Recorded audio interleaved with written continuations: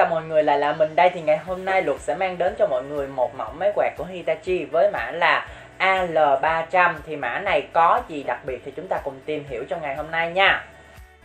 Về phần chất liệu như mọi người cũng có thể thấy ha, chúng ta sẽ có một chất liệu là nhựa chịu lực, phủ một lớp chống bám bẩn ở phía bên trên ha. Về lâu về dài khi chúng ta sử dụng cái chất liệu này. Cái đầu tiên, chúng ta sẽ hạn chế được rất là nhiều tình trạng chày trên các bề mặt.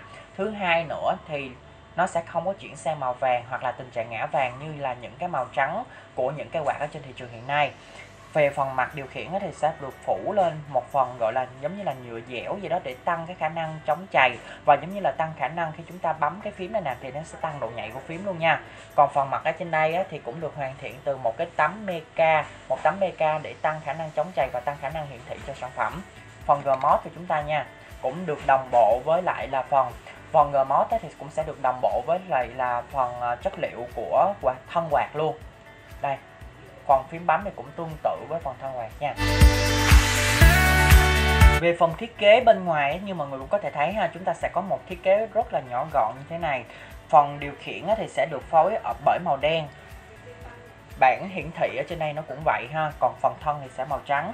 Thiết kế nhỏ gọn như thế này, nó có ưu điểm là mọi người có thể để được nhiều góc ở trong nhà mặc dù là thiết kế nhỏ gọn như vậy thôi, nhưng mà cái lượng gió cho ra thì rất là nhiều nha mọi người. Chúng ta sẽ có tổng cộng là 1 2 3 4 chế độ đó, tất cả. Một mặt khác nữa, chúng ta sẽ có rất là nhiều công nghệ bên trong này. Từ công nghệ vào ờ, từ công nghệ là điều chỉnh chế độ gió vào ban đêm để chúng ta có thể là giữ được cái yên tĩnh trong lúc ngủ nè. Cài đặt giờ mở, cài đặt giờ tắt nè, có thể điều chỉnh bằng remote nè. Thì đây là tất cả các công nghệ của cái quạt này. Thì bây giờ chúng ta sẽ đến với coi thử, trải nghiệm thử xem những cái phím bấm này nó sẽ có chức năng như thế nào khi chúng ta khởi động nó. Và cũng giống như cái quạt này nó sẽ hoạt động như thế nào nha. Thì bây giờ chúng ta sẽ đến với phần hướng dẫn sử dụng. Đầu tiên luật sẽ hướng dẫn cho mọi người nha. Các phím của chúng ta là phím cơ, Vậy từng phím nó sẽ có chức năng gì? Đầu tiên phím này là tắt mở. Phím này là điều chỉnh luồng gió.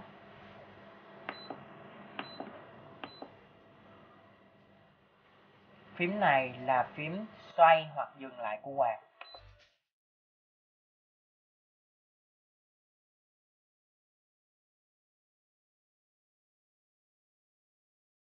Phím này là phím tắt mở âm thanh. Phím này là chế độ ban đêm. Phím này là chế độ gió trời. Hai phím này là cài đặt thời gian bật.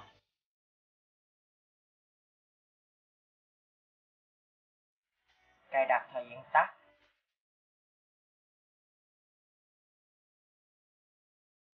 Phím này là phím xác nhận cái thời gian mà chúng ta mong muốn để mà chúng ta cài đặt. Phím này còn một chức năng nữa khi ấn 3 giây. Thì nó chính là chế độ khóa trẻ em. Khi lúc đó thì chúng ta sẽ không bấm được phím nào ở trên đây hết. Ok, bây giờ chúng ta sẽ tắt nó bằng cách ấn 3 giây để tắt. Thì đây là chức năng của toàn bộ phím bấm. Về phần lưu ý sử dụng thì luật sẽ nhắc nhở mọi người hai lưu ý như thế này nha. Lưu ý đầu tiên nè, mọi người thấy phần cánh quạt ở trên đây không? Thì nó làm khe rất là khích ha. Để tránh tình trạng là các em bé có thể thọt cái tay vào á và làm ảnh hưởng tay của bé, làm bé bị thương ha.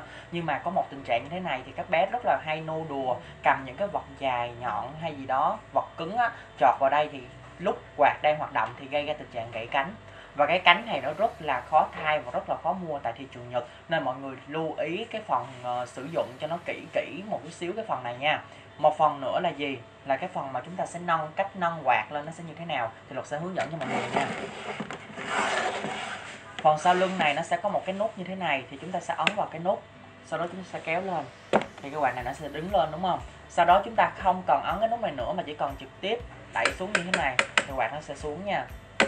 Ok, thì đây là hai lưu ý chính. À còn một cái lưu ý phụ nữa. Lưu ý phụ là dòng điện của quạt này tại thị trường Nhật là 100V, nhưng khi mà chúng ta mang về Việt Nam thì bên luật đã trực tiếp chuyển điện thành 220V rồi. Nên mọi người mua quạt này về thì có thể trực tiếp sử dụng dòng điện của Việt Nam rồi nha. Thì đây là những cái lưu ý mà luật hướng dẫn đến mọi người. Mong là mọi người có thể lắng nghe và cũng chúng ta có thể là sử dụng được cây quạt này một cách tốt hơn nha